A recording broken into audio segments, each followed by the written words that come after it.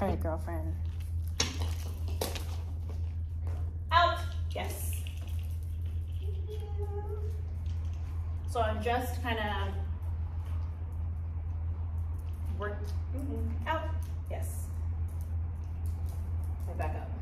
So I started teaching her the word out means to leave, give me space basically to move away. So I will, like right now, out, step into her space and toss food away from me. So I'm saying the word out first and then stepping towards her, tossing food behind her. Um, like this, out. Ooh. Just getting her that muscle memory of hearing the word out and moving backwards. And now I'm kind of switching it over to um, something that she has a mild interest in.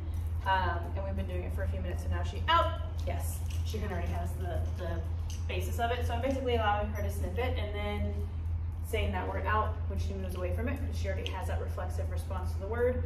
I'm marking it with a yes and paying her. So like last week was spent teaching her yes equals food and then also that out moving away from me. This week I started with the out moving away from me and then I kind of switched it to where I would say out, yes, out, and then yes when she moves away. So I kind of wanted to make it a conditioned command.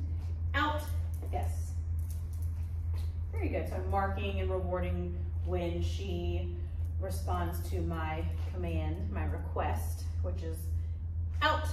Yes, she already knows what that means.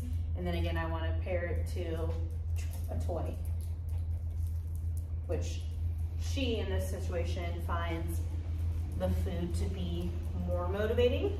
So she's choosing to kind of hang around me instead of showing a lot of interest in toys, which I kind of want just so that there's not too much conflict with wanting to stay near the toy. When before I started recording, I put a toy on the ground and she was sniffing it and I said out and she did move away and I kind of gave her a little bit of leash tap towards me, which she then moved away back towards me. I didn't pay her for that.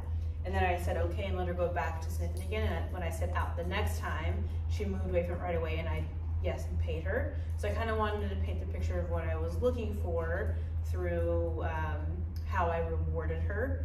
Um, but I want there to not be a lot of conflict right now so that we can have that no conflict muscle memory being built.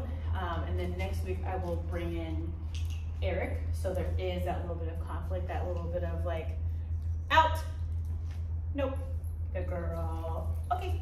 I don't know if that toy is even in the picture or in the frame. Um, I can work her towards showing her that if you don't, if I need the leash, out, good girl. If you need the leash, you're not gonna get food from me. But if you listen to me just verbally, then I will pay you for that. Out. You're being very rude.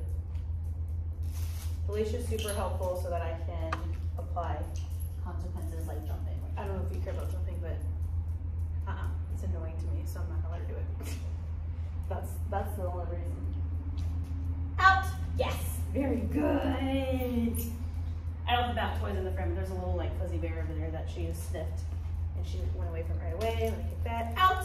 Yes, very good. She's like, I don't care about that brush. What if it sneaks? Whoa. Uh-uh, don't jump on me. Nope. Nope. Yes. Uh-uh. Nope. Nope. Uh-uh. Yes. Very good. You're not gonna be rude and jump on me. Good girl, Ariel. Nope. There you go. I can see her thinking about it a little bit. Out. Yes. Good job.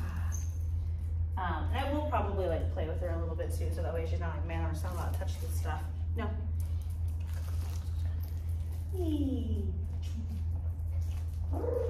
I have a feeling that once Eric's in here, that possession will come out and she'll have a little bit more interest in these toys. No, don't jump on me. Um, so we'll see where we get with that. Good girl. Sit. Do it. That's not a sit. That's a, I don't know what that is. It's a circus dance. Uh-uh. No. Sit. Good. Yes. That was better. All right. Nice done.